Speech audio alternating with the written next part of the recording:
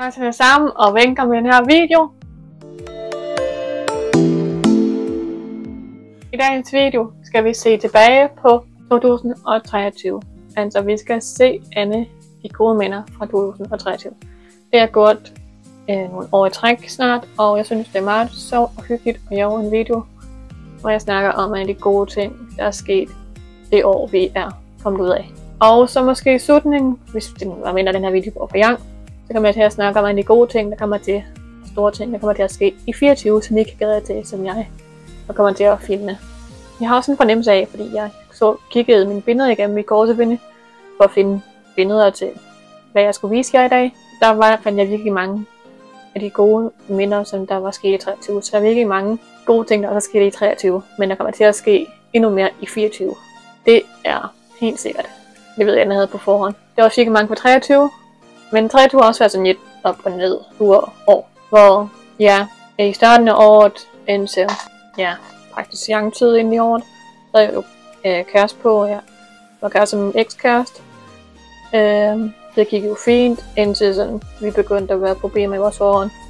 Og jeg boede tit så der keder det og sådan noget. Og til disse forhold, så var der problemer hele tiden. Han boede til surpump og sådan noget.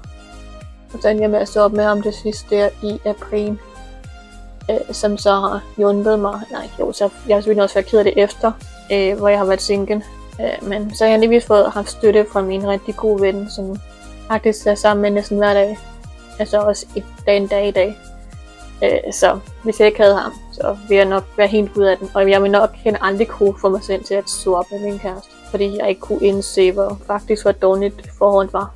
Og hvor dårligt jeg havde det. Men vi skal ikke snakke om min ekskæreste. Jeg har også undgået at tage ham med i mine minder. Fordi hvis jeg skulle tage det med, så var der flere gode minder selvfølgelig også.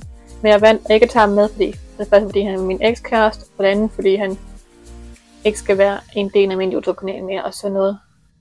Altså jo, jeg er stadigvæk venner med ham, og jeg ser ham hver dag i skolen stadigvæk. Så der er ikke noget akavet med mig, og sådan dårligt med mig også, fordi vi kan godt snakke sammen, og vi kan drænne hinanden. Så der er ikke noget dårlige ting. Så. Men jeg har bare valgt ikke at tage med, fordi at det tænker jeg nok er bedst. Og så kommer jeg til at være nogle billeder, hvor der er andre folk på, hvor jeg har tegnet på deres ansigter, så jeg kan se deres ansigter, så kun kan se mig. Og det er godt for, de, for at være sikker på, at jeg kommer til at vise nogen, der ikke vil vises, og for at på deres egen skyld, dem der er på, med på billedet. Så hvis I undrer jer over, hvorfor man ikke kan se deres ansigter, er derfor. Men jeg tænker bare, at jeg starter med det samme, for nu har jeg vist snakket nok. Vi starter med, hvordan det er gået på min YouTube-kanal i 2023. Med abonnenterne er det faktisk ikke gået som, så godt, som det plejer at gøre nogle af de andre år. Jeg har fået 300, lidt over 300 subscribers i år. Jo, det er selvfølgelig meget, og det er jeg taknemmelig for. Men som jeg kan se ved siden af, så der er en lille grå pin, og det betyder, at det har gået i så godt, som det har gået som nogle af de andre år. Fordi nogle af de andre år har jeg fået over 300 abonnenter på et år eller mere. Så i år er det faktisk ikke lige så godt som nogle af de andre år. Men alligevel er jeg taknemmelig for en jer, der har abonneret til mig, og jer, der er nye. Øh, det skal I ikke tro, at jeg ikke er. Og jeg tænker heller ikke kun på abonnenter. Vi bare kigge på tallene, så det gør vi i år. I år. Men til gengæld er det gået sindssygt godt med visninger i år. Jeg har fået 100.000 visninger på et år. Over 100.000 visninger på et år. Og det er sindssygt. Tak til jer, som ser mine videoer og kan give at se dem og finder med. Det er jeg glad for. Ja, min kanal vokser, og det er jeg glad for. Og jeg har fået mange nye og trofaste følgere, som skriver på hver eneste af mine videoer. Og det er først i 23, at det er sådan rigtig begyndt, at folk kan begynde at skrive søde kommentarer osv. Det er jeg rigtig taknemmelig for. Det betyder rigtig meget for mig, så tak til jer, der gør det. Men så går vi i gang med minderne. Og i starten af januar allerede, der var jeg med til at løbe ind med Odense håndbold herrene, sammen med nogle andre fra Jøberliga. Vinken var en stor oplevelse, og jeg elsker at løbe ind sammen med nogle håndboldspillere. Øh, det er en vild følelse, og en virkelig sindssyg følelse. Løbe ind med nogle professionelle håndboldspillere, og så kommer der konfetti, og der er musik, og folk kapper, og det er bare... Man føler sig bare så specielt, når man løber ind der sammen med dem. Det er vist min anden, en tredje gang, jeg køber ind med nogle håndbåndsspændere, så det er en stor oplevelse. For det meste er jeg godt det med Otterup, men nu fik jeg muligheden sammen med Odense, hvilket også var super fedt. Og så i slutningen af januar, der fik jeg, eller jeg købt et hamster, fordi mit hamster får fordi at mit gamle hamster, som tog et halvt år, over to et halvt år, døde i slutningen af 22. Jeg vil have et nyt hamster, så vi kigge på et nyt hamster. Og endelig i slutningen af januar i 23, eller i starten af januar 23, fandt jeg så et hamster, og så hentede vi hende i slutningen. Og det er jeg virkelig glad for, at vi at jeg endelig fik købt et hamster, fordi jeg savnede virkelig at have et hamster, efter Nikolaj døde. Fordi Nikolaj var jeg virkelig glad for, og for er jeg blev endnu mere glad for, for jeg var en Jine, Jine, Vine, Jine Vindbas, og har virkelig meget energi i sin krop, og virkelig sus rundt. Hun er meget mere juni, end Nikolaj var. Jeg ved ikke, om det er noget at gøre med, at hun er en hund, men jeg synes i hvert fald, hun er meget mere aktiv, end jeg var. Øh, så for er jeg virkelig glad for, at jeg nu har fået en sendt køb faktisk. Og så i vinterferien i februar var det nok, der fik vi lov til at jåne en øh, af mine naboers sommerhuse, som de har været i gang med at bygge på og sådan noget, og været færdige med, eller næsten færdige med. Og så har vi fået lov til at være i den i nogle dage i vinterferien, og det var sindssygt hyggeligt. Så var vi på nogle ture, og vi så nogle ting, og vi hyggede os bare, og det var super hyggeligt, og ja, det er virkelig sødt af dem, at de gjorde det ud til os. Og jeg håber virkelig snart, at vi kan komme derud igen, fordi det var sindssygt hyggeligt. Det var et sindssygt flot sommerhus, og et stort sommerhus, så man kan sagtens være der mange derude. Øh, så jeg håber måske i at vi også gør det i år, hvis vi får lov af. Men det var også sindssygt hyggeligt.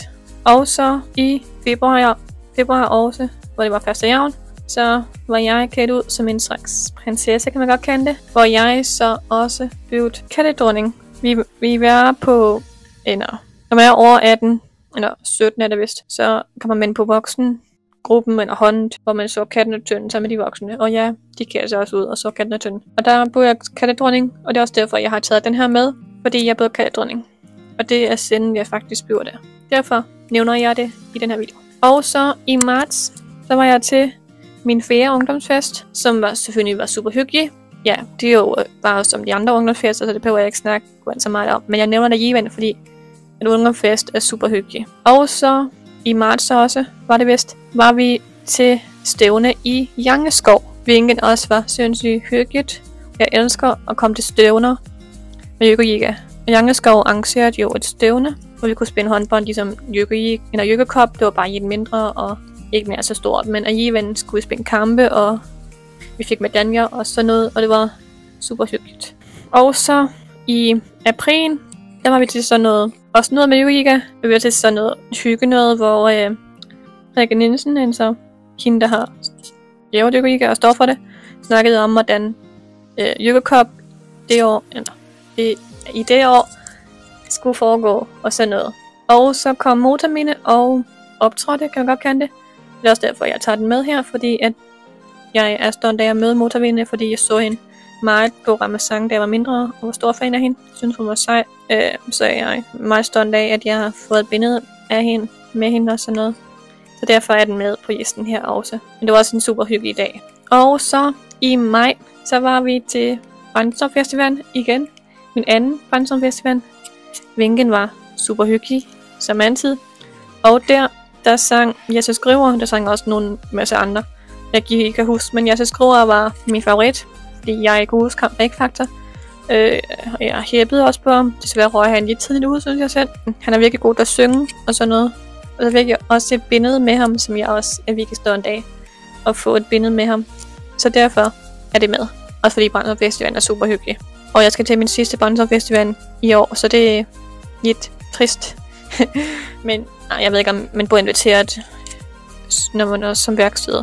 Det får jeg se. Nå, så i juni så var jeg til min jykke, eller tredje jykkekop, er det vist. Vinken, ja, som jeg siger nærmest hvert år, jykkekop er en af de største oplevelser nogensinde. Man kan opleve med at gå til åndbånd i Jykkeliga. Fordi for det værste skal man spænde kampe imod andre hånd, og man møder andre hånd, man møder en masse andre mennesker, og så får man selvfølgelig medaljer, og man får en masse sådan ting. Man møder kendte mennesker, og der er Ghana, og ja, det er bare en kæmpe oplevelse. Og ja, vi fik som sagt spillet en masse kampe, og så spændede man det Ebert, der når vi fik medaljer. Det var ret stort at møde ham, fordi at hans, nogle af hans sange kan jeg også godt lide. Så var selvfølgelig Ghana om aftenen, hvor Fyr og Farme sang, som også var øh, virkelig stort. Fik desværre ikke nogen billede med dem, fordi de peger man at kunne med de andre. Og fra de andre år, hvis fra Ghana, Øh, men de havde vist for travlt til at ikke kunne nå det, så desværre. Jeg har ikke forbindet med Matt Ebert, men det peger man normalt ikke at kunne. Og det er med Danny, fordi de der kender ikke tid til. Jeg mødte mødt Fyrefarme, og det er jeg også stund af. Men jeg har set dem i virkeligheden. Nå. Så når vi til sommerferien, altså sådan Yuan Yi, så når vi til sommerferien. Vi var i sommerhus, og nu tager jeg bare det bedste, som der er sket i sommerhus. Og det var, det var i Katterpark. Øh, jeg kan ikke huske, hvad det hed. Det var noget med dunkende Katterpark. Noget den stil. Det var egentlig ikke meningen, vi skulle øh, katre. Det er fordi, de havde planen, at vi skulle spille en minigolf. Men så så jeg Katterparken. Og på med sund i år, vi ikke skulle op på det. Og så til sidst, så fik jeg lov til at komme op og give Og jeg synes, det var faktisk var meget sjovt, selvom det var også lidt overskridende for mig. Nogle af de baner, der var, fordi de var, nogle af dem var højt op. Ikke fordi jeg holdt skræk, men jeg kunne bare give det med, at nogle af de bevægelserne rystede. Så følte jeg, at jeg ville falde ned, så jeg ville havde scene på og beskynde sig på. Så der ikke ville ske mig noget, hvis jeg faldt ned. Men jeg kunne godt mærke, at det var en grænse, da jeg, jeg lige skulle overtræde. Og jeg endte også med at overtræde en gammel grænse med at gå på nogle af dem der, der bevægede sig. Jeg endte også med at karre dem flere gange. Og så var der også en svævebane, der var sindssygt sjov. Den prøvede jeg også nogle gange. Men ja, vi var i sommerhus i Oksbøn, som var virkelig hyggeligt. Og jeg har kun taget en minde med fra sommerhus, for det så der er også mange andre ting på sommerhus. Vi har været ude og se nogle ting og sådan noget. Museer og sådan noget. Men nu tager jeg bare det bedste med. Og så, også i sommerferien, som Jon Yi også, der fik jeg mit tredje hund i øret, som jeg også var en drøm for mig. Det er jeg sindssygt glad for, at jeg har fået. Og det var nok også mit sidste hund i øret, fordi det skal jeg ikke have flere. Fordi så ender det med at måske blive til piercinger højere op, og det gider jeg ikke have. Så jeg er glad for, at jeg har fået mit tredje hund i øret. Og jeg synes, at det vil virkelig pænt til mig. Så det er jeg glad for. Og så, også i sommerferien, så har vi været til kreativ uge, som vi har været hvert år. Og i år, ja til den kreative uge, så var vi på stoftryk, hvor vi manede på tøj. Hvilket var sindssygt hyggeligt og sjovt at prøve at mane på tøj. Og ja, vi fik gjort en masse flotte ting og fine ting, som jeg også er meget stolt af. Og så var det virkelig sådan en fest sidst på ugen. Ja, og Sabrina var med for første gang. Det var også meget hyggeligt. Jeg kunne lidt fingre for, at vi kan komme på stoftryk igen i år til sommer. Fordi jeg synes, det var virkelig sjovt, og der er meget mere tøj, vi kan jo trykke på, hvis vi vil, eller mane på, hvis vi vil. Så det håber jeg, kommer vi til igen i år. Og så i slutningen af sommerferien, som nok er noget af det bedste, der er sket i år. Nej, det må man sige i år. Sidste år, altså det var i april. Nej, ikke i april. Det var i august, hvor vi var til grøn koncert. Og det var min første grøn koncert. Og det var en kæmpe oplevelse. Og der sang en masse gode sanger. Som for eksempel øh, Aqua, øh, Mø, Medina, og så den bedste, som jeg var størst fan af, Andreas Adberg. Så var der også nogle lidt flere, som jeg ikke lige kan huske, og jeg heller ikke var stor fan af. Men de fire, og dem jeg var størst fan af. Ja, men også var det en kæmpe oplevelse, og noget, jeg virkelig har drømt om at være der sådan en rigtig festival. Det er virkelig en festival, man overnatter, men I ved, hvad jeg mener. Men det var super hyggeligt, og jeg gad ikke virkelig godt at prøve det igen i år, men jeg ved ikke, om det kan jeg så gøre, men det kunne være super fedt, hvis vi kunne igen i år. Og så også i august, hvis ikke sommerferien mere, men i august, så var vi inde og se en, en musical på Frøberg, som var svæk. Altså filmen Svæk. Og det var også sindssygt hyggeligt, og det var virkelig et godt stykke. Jeg kan godt lide Svæk filmenes i forvejen, men jeg kunne ikke helt sådan dem 100%. Men det var virkelig et godt stykke, og kostymerne var flotte, og Anne Musicans, så det var de sindssygt gode, og jeg synes, det var virkelig spændende. Jeg elsker Musicans, og det ved I nok godt, fordi det siger jeg nærmest hver gang, jeg snakker om Musicans. Det ved I nok godt. Og så i september, så har vi været i Tuni med kassen, som vi er hvert år, og det var min sidste Tuni-tur. Lidt ærgerligt at tænke på, synes jeg. Jeg ikke skal i Tuni med kassen mere, fordi jeg synes, at det var super hyggeligt. Jeg glæder mig hvert år. Så at ikke skulle det mere med kassen, det er lidt ærgerligt. Men det var en super hyggelig tur. Ja, jeg synes bare, at det er virkelig hyggeligt at komme på ture med kassen. Især sådan store ture i juni, som vi er hele dagen faktisk. Så i oktober, så fik jeg en tid til frisøren til at få kippet mit janghår op til mit pandehår. Så jeg fik kippet mit hår dog lidt kortere, end hvad jeg havde håbet på at regne med. Så jeg var sådan ikke 100% tilfreds men jeg endte med at sådan tænke, okay, det går nok, fordi nu er mit hår yiyangt, nu kan jeg bare det grå, så er det yiyangt hele tiden, og så behøver jeg ikke tænke på det mere. Så kan jeg, skal jeg måske få kippet noget, mine spidser, når mit hår på yang nok til det. Ja, jeg savner desværre hen stadigvæk mit yang hår, for jeg havde fået, jeg havde fået sindssygt yang hår, inden jeg blev kippet. Men ja, nu er mit hår yang, og det er jeg også glad for. Selvom jeg, jeg skulle vente mig til det i starten. Så også i oktober, så var vi på tur med kassen igen. dog den her gang, var vi ude på sådan en une sted, hvor der var uner, og man må også kunne få lov til at hånduner. Så vi gik rundt med nogle uner. Vi gik rundt med sådan en lille une, som var virkelig sød. Og så gik vi rundt en tur med dem i skoven. Det var super hyggeligt. Og så senere på dagen, så fik hun en lidt større uge. Jeg synes det var sindssygt hyggeligt, og synes det så at prøve. Og jeg var virkelig stolt over, at jeg håndte lidt ugen, fordi det var virkelig sød. Især den lille bitte en, jeg håndte, det var virkelig sød. Og bare kigge rundt.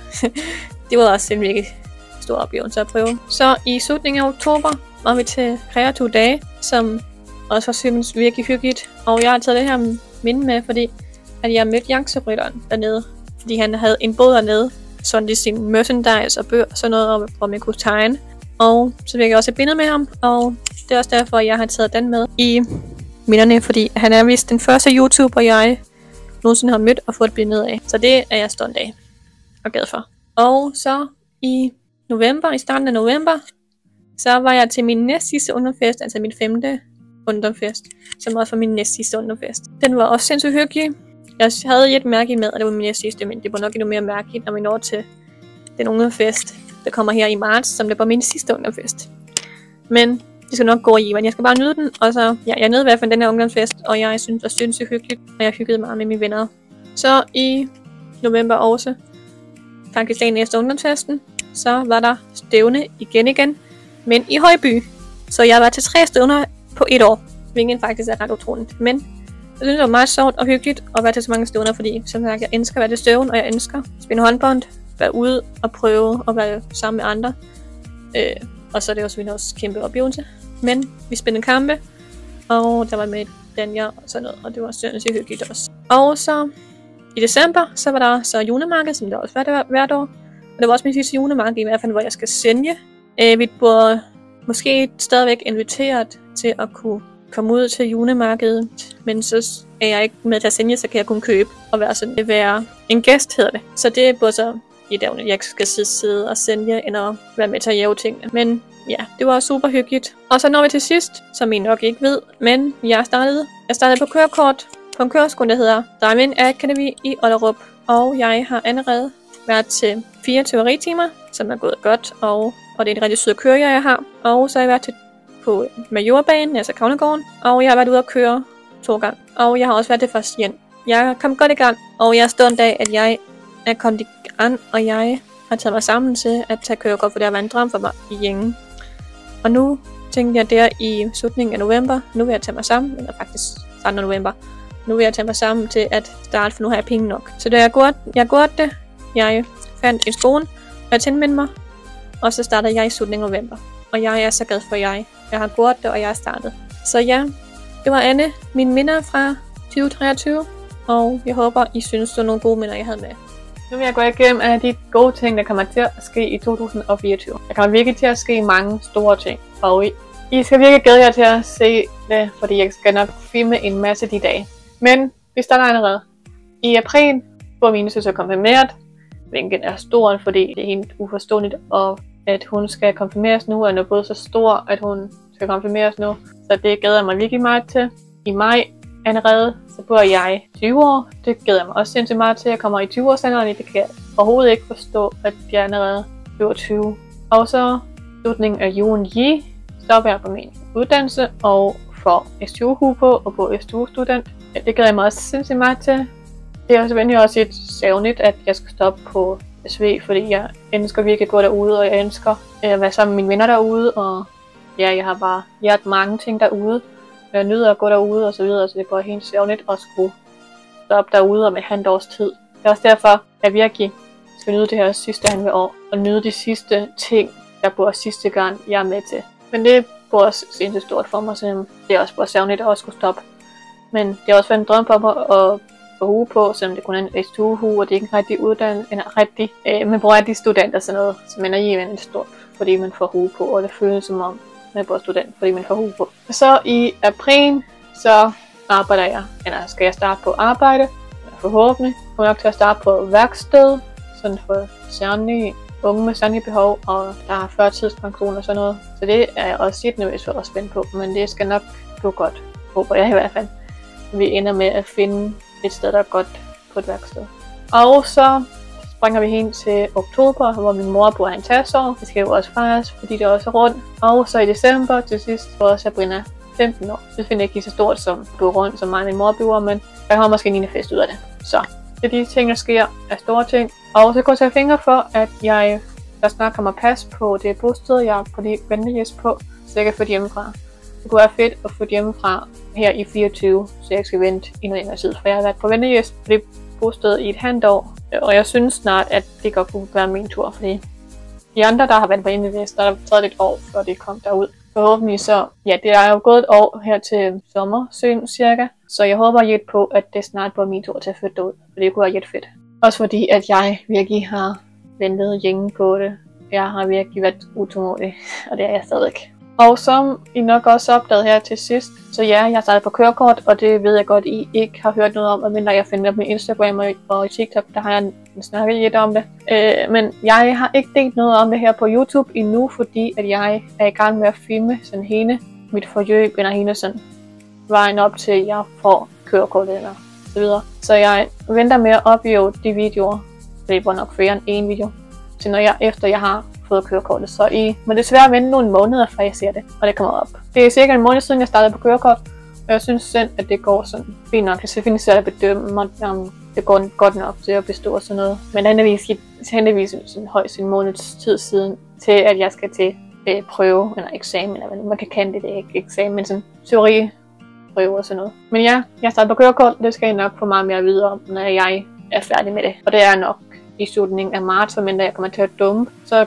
går der selvfølgelig længere tid. Men vi må krydse fingre for, at jeg kan det. Og hvis I vil høre meget mere om det, så har jeg en page på min TikTok, hvor der, hedder, der hedder kørekort, hvor jeg har snakket om, hvordan det her går, og de ting første gang med at køre og teoriteam og så videre. Så der kan I gå ind og høre om, hvis I vil er nysgerrige. Men så er det andet der sker i 24.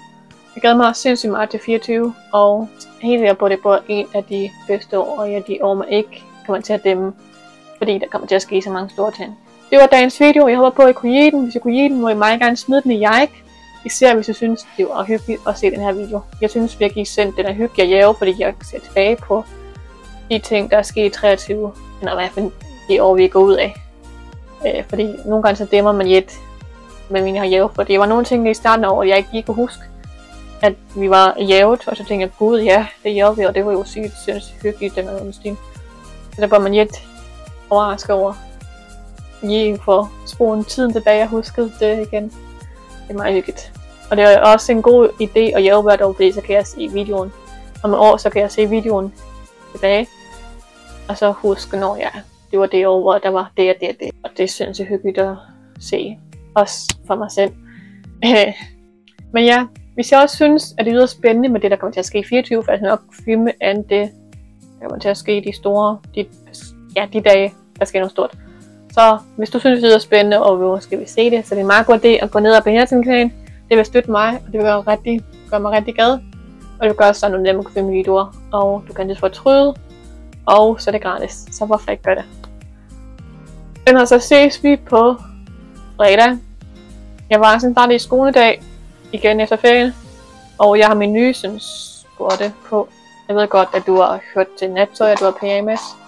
Men som jeg sagde i videoen, at jeg min julegave-video, der sagde jeg, at jeg gerne vil prøve den på, og så se om jeg kunne bruge den som skort. Og jeg synes faktisk, den er sådan nogenlunde pæn til mig. Jeg kan godt mærke, at det ikke er min stil, men jeg synes alligevel, det er sådan er nogenlunde til mig. Og nu, ja, synes jeg, at jo stoffet var fint, så jeg kunne få mig selv til at sige nej, end at bytte den. Og natboksene bruger jeg som ganske mine natbukser. Så. Men vi ses på fredag. Fortsæt god dag. Håber på, at I har det godt. I sidder med en skole pænt og snakker pænt. Og så tusind tak for, jeres jeg støtte og kærlighed og likes og kommentarer, eller kommentarer. Og jeg elsker virkelig at læse hver eneste kommentar. Vi ses på fredag. Fortsæt god dag. Hej hej. I det bedste. Hej hej.